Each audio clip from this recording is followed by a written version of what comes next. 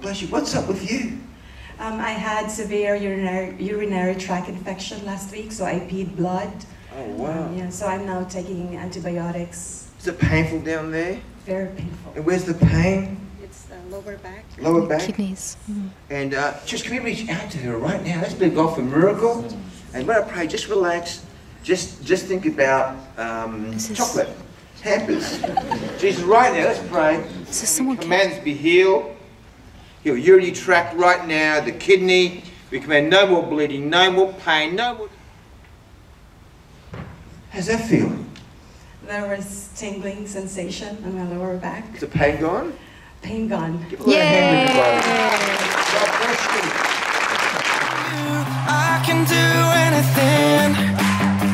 I can do all things.